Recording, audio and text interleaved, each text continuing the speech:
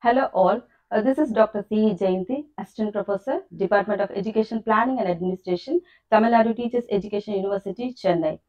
In this presentation, we are going to see the various tools that enhances the teaching learning process. Now, let us get into this presentation. Objectives. After this presentation, you will be able to be familiar with the different types of online tools to acquire knowledge of video conference tools, to create, format and share assessments through online, to apply Google applications for education purpose and also to understand the different types of mobile apps. There are uh, different types of online tools. They are Hot Potatoes, Mindomo, Edmodo and Desmos. Now we will see about the Hot Potatoes. It is a set of program that allows the production of an interactive web-based teaching exercise. It consists of six individual programs such as JCloze, JQuiz, JCross, JMatch, JMix and the Masher. Hot potatoes. There are six different exercises. Uh, that is in JQuiz, uh, we can create multiple choice questions and in JCloze, gap, gap fill exercises, in JMatch, matching exercise and in JMix, jumble word in sentences and jumble letters in words and in JCross, crossword exercises and in Masher, we can combine all the above activities into a single file. JQuiz. JQuiz, uh, here we have to give the title and we have to write the uh, questions in the question form and in the answer we have to give the correct answer uh, that is all the probable answers we have to enter here. This is JCloze. JCloze is a test in which the words have been removed from a sentence and the students have to write the correct words in the empty spaces. It is what we say as fill in the blanks. J match. In J match, there will be two lists. Uh, that is, left side we have to give the ordered items and in right side we have to give the jumbled items. J cross. A crossword puzzle is a game in which you have to write the answers to the questions in a pattern of numbered boxes. JMix.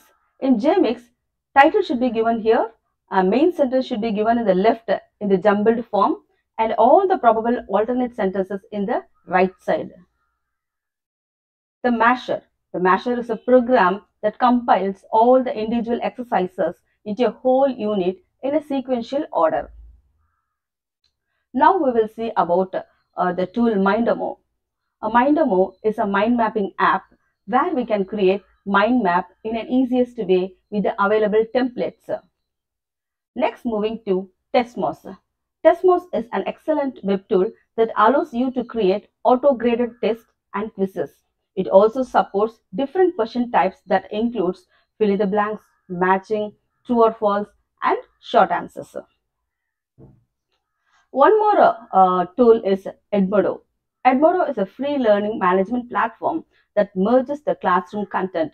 Here students and parents can get quick answers to the questions as well as they can stay touch on the class assignments.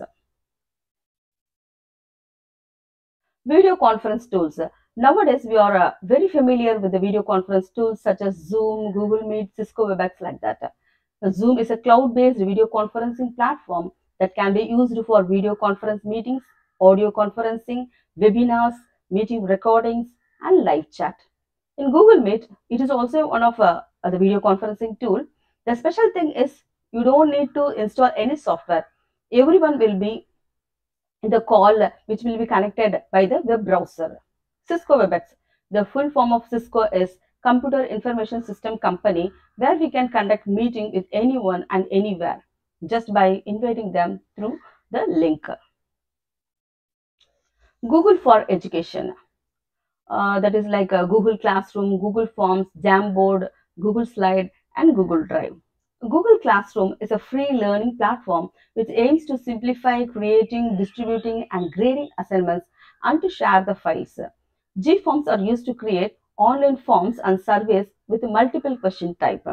Jamboard is an interactive uh, digital whiteboard that helps in online collaborative activities by Google Workspace. Next coming to Google Slides. These are used to create presentations together, share, collaborate and prepare quickly with the pre-made templates. The Google Drive also allows the user to store files in cloud and also to share files. There are various mobile apps to facilitate learning. Uh, some of the mobile apps are uh, Class Dojo, Edmodo, Google Classroom for managing the classrooms, and for uh, communication, Remind and WhatsApp, for collaboration, Dropbox and Padlet, for creativity, Evernote and MindMeister, for uh, teachers, the professional growth, edX, Coursera, Udacity, and for assessment, Kahoot, Socrative, Zoho Forms, and Nearpod. To conclude, the digital pedagogy has many benefits when compared to the conventional learning in the classroom environment. It is not just a change of technology, but it is a part of a redefinition of how we transmit knowledge, skills, values to the younger generation.